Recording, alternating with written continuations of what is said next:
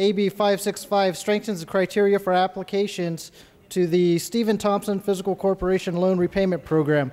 This bill gives priority to applicants that have worked in a medically underserved area or have served medically underserved populations uh, for three years. The Senate amendments were clarifying and technical in nature, and I respectfully ask for your aye vote in concurrence.